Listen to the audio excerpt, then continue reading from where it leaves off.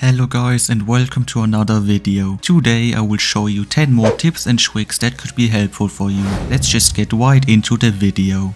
Tip number 1. You actually get turret and grenade mastery when you place or throw them. Per grenade throw you get 5 mastery XP and when you kill a zombie with it you get 10 XP. Unfortunately turret mastery is bugged and you only get 100 mastery XP by placing them and not if the turret kills a zombie. Tip number 2. If you have a black key and you dropped a black box in your game, you can open the box and if you get something you don't like, you can just close the game and reopen it to save your black key by clicking the open later or discard option when the black box appears again. You should always do this when you only have one key left.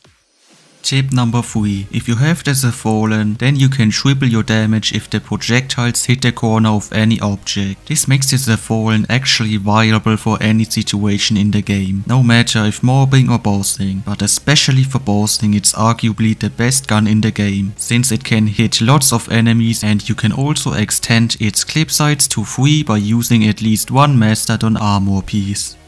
Tip number 4. If your teammates were too fast in zombie parts and you had no chance to pick up the loot in the secret room before the boss room, then you can still get the loot if you have Gloves Mastery 4, since it gives you a 50% pickup radius bonus. And it also works on other spots like on this vaccine spot, but I'm pretty sure that there are more situations where this could be helpful. Tip number 5. If you want to level up a specific armor mastery, then you can just wear one piece of that armor you want to level up and keep the other pieces unequipped. Having only one armor piece equipped will only level up that mastery. Once you choose which mastery you want to level up, simply go to any faction and play the elimination mode. Since it doesn't take that long till zombies will start spawning and all you have to do now is to get killed by them. The reason we do this in factions is because you always win no matter which mode you play and this makes the armor mastery grind really easy and fast.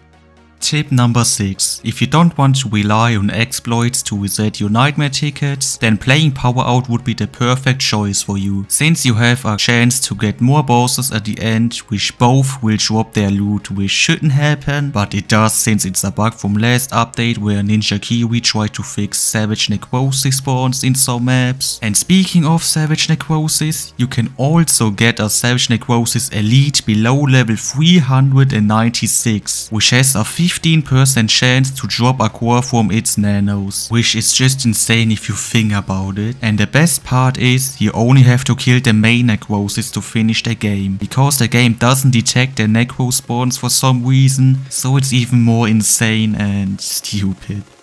Tip number 7. Certain guns like the Jupiter, Contagion and The the Festungsbrecher or how the fuck you say it. have a mechanic called Pierce Blast Effect. It's a unique gun mechanic that's intentional and not a bug that happens on guns which pierce normally but have a blast effect upon every pierce. That's where the name came from by the way. Anyways, those explosions can hit other nearby targets, so guns with this mechanic can increase single target DPS by hitting multiple cluster with targets. I will link a video in the description which explains this mechanic way better than me if you didn't understand what I said or if you just want to know more about this mechanic.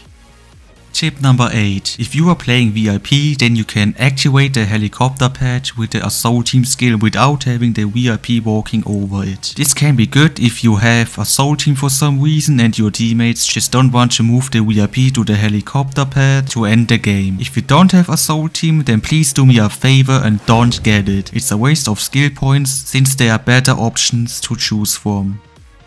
Tip number 9. If you had all planets captured in your faction when the war ended, then you can actually keep getting planet tokens if you don't press on the faction screen for a certain time. I did this trick while not touching the faction button for about 2 to 3 weeks and the results are crazy. In the past I tried this for months but I never got the loot so I recommend you to click on the faction button after 2 weeks if you want to be sure.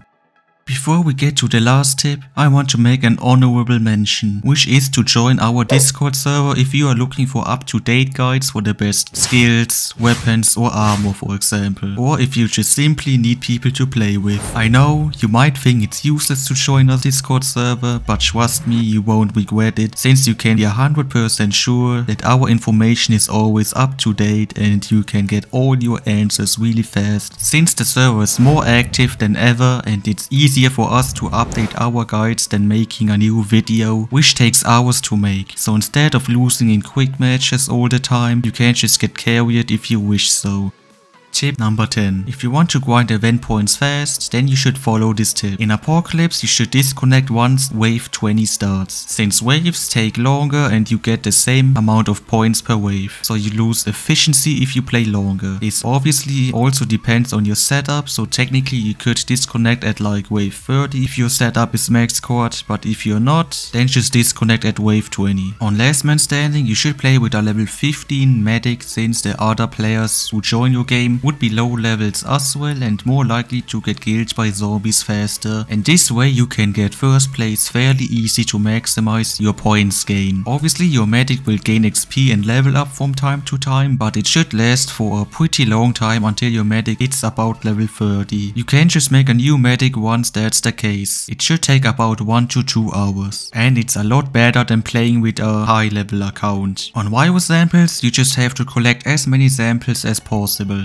Assault would be the best option for that and the higher level you are and better gear you have, the better you can grind. If you start dying a lot then I would recommend you to disconnect and find a new game. And those were my top 10 tips and tricks for you guys. If you enjoyed this video, then I'm pretty sure you will also enjoy the videos shown on screen right now. Thanks for watching.